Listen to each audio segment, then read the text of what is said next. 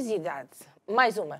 Uh, a doutora Teresa, qual é a preparação que tem antes de um concerto?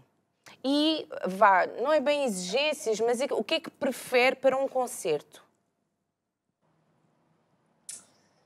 Uh, uh, uns meses antes, uh, imediatamente antes, portanto, são, são coisas diferentes. Algum tempo antes, alguns meses antes, eu diria que é o rigor, é uma certa regularidade na preparação do, do concerto. Imediatamente antes, é um momento em que normalmente eu, eu não gosto de, de, estudar muito, não gosto de estar muito presa ao piano, porque também já ouvi isto de, de algumas pessoas e, e, eu subscrevo completamente. Nós, nas horas antes ou na véspera, já não conseguimos mudar, mudar nada. Uh, às vezes há coisas, independentemente das circunstâncias em que tocamos, há coisas que, que nós de repente estamos ali no palco a ensaiar e percebemos que não gosto muito da minha forma de fazer isto, não, não gosto como isto está a soar, são coisas que não tínhamos consciência antes, mas já não é hora de mudar. E mesmo quando encontramos um piano de que não gostamos, circunstâncias mais, mais adversas, o melhor é aceitar, não tentar mudar muito. Uhum. Portanto, eu tento, sobretudo, adaptar-me às circunstâncias e e desfrutar do que estou a fazer. Tento ser menos, menos técnica, talvez, na, na hora de. na reta final da preparação do concerto. O que é que, nós agora gostaríamos que nos, que nos falasse sobre o livro Carnaval de Schumann, obra de gênio ou loucura? Bom, foi a minha tese de doutoramento na Universidade Católica do Porto e foi é, é engraçado porque nós, uh, ou pelo menos eu tenho tido essa experiência, uh, eu, eu já passei por muitas fases em termos de gostos musicais e realmente há, há, há, épocas em que fico muito focada num compositor, fico obcecada e na altura estava, estava obcecada com Schumann e não só com a obra Carnaval, mas, mas a tese é sobre o Carnaval de Schumann. E realmente sempre me interessou muito tentar adivinhar qual é, qual é a pessoa, no sentido qual é a emoção da pessoa que está por trás da, da composição da obra. E foi, foi aí que me despertou a curiosidade uh, sobre pronto, toda a questão da doença mental, ou digamos, da originalidade mental uh, do compositor Schumann. Ele é a sua maior inspiração ou, como estava a dizer, depende da época? Depende da época, sim.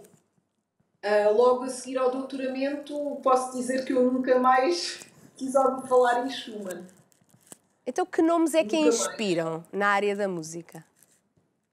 atualmente estou muito orientada para Mozart, por exemplo. Oh, Acho que foi assim a, a mudança mais que, que eu posso identificar, mais visível.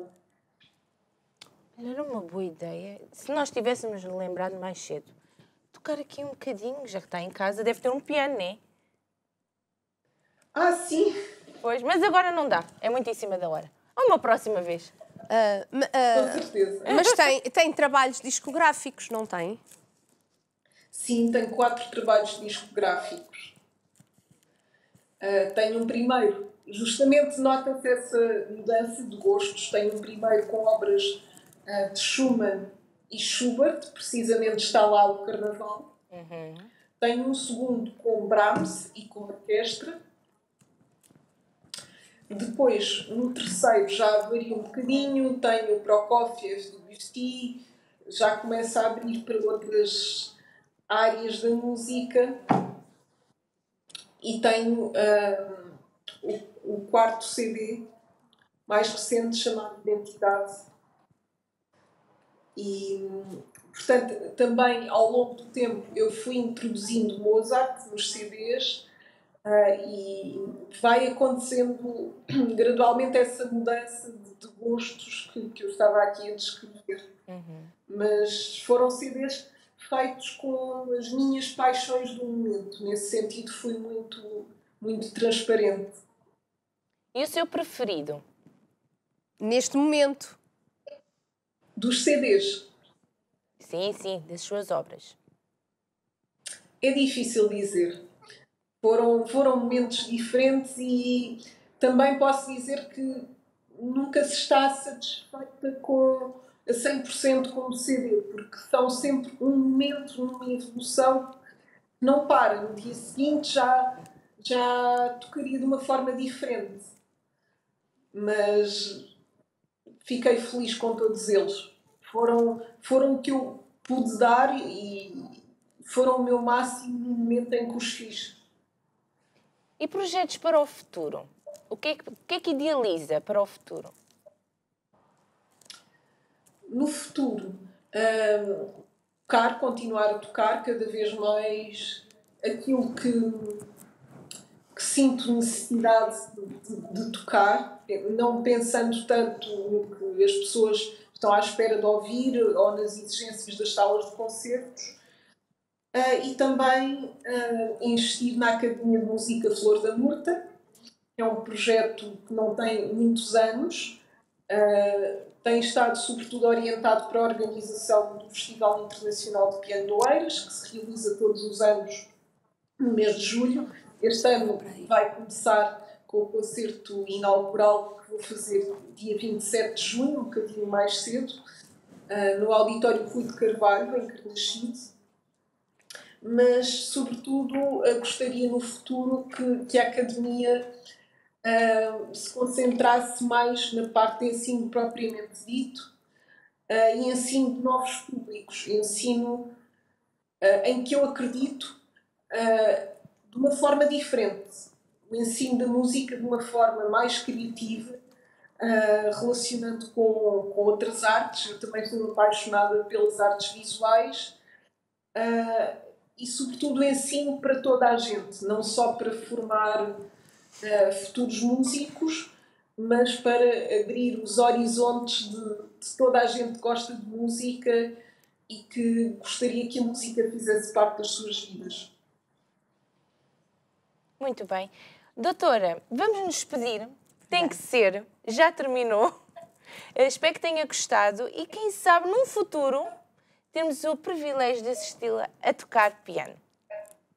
Com certeza. O que é que achas? Acho Espero que sim. Que sim. Acho que sim. Muito obrigado pela sua disponibilidade. Eu é que agradeço. Continuação de muito sucesso nestas duas áreas, não só nos, nos concertos que tem a oportunidade de, de, começar agora a dar nesta, neste pós-pandemia, mas também uh, na, na Academia de Música a desenvolver também os talentos uh, para as artes de, de todos os que vão ter consigo.